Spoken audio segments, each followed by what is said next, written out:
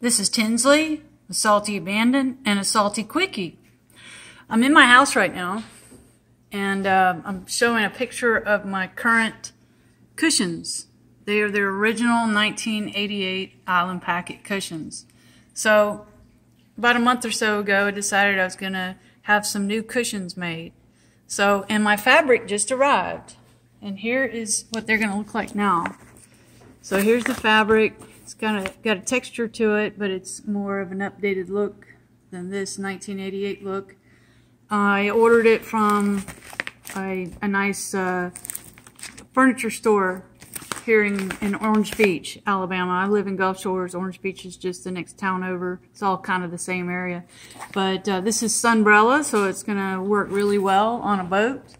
And I've got 25 yards, actually, that I ordered and um, I got on the schedule at a place in Elberta called Peden, and they uh, will be ready to take my cushions. I have to drop my cushions and this fabric off, and they've ordered the foam for me um, on Monday. So I've borrowed a truck to do that, and they have to keep the cushions for four weeks, and then it'll uh, then they'll they'll be done. So they have to keep it while they're in production.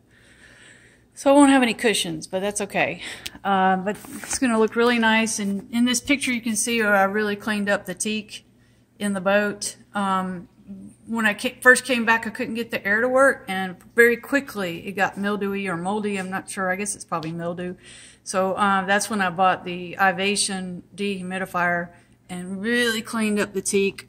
Um, so now it looks really good. And it, it wasn't looking great before the, the mildew appeared.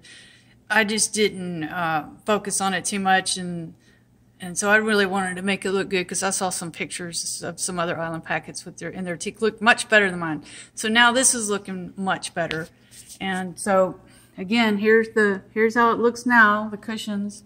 Let me see if I can get another picture here. Um, nope. Okay, you can see the cushions there. You can also see where I've, all this area, it just looks so much better. The teak everywhere looks so much better.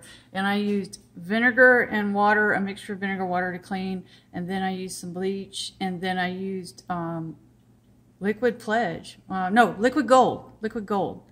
I'm going to use uh, this teak oil that somebody recommended for the head because I'm afraid the liquid gold would, you know, come off when I take a shower or something. But anyway, my boat's going to be looking pretty snazzy in about a little over four weeks once these are done. So just wanted to share that.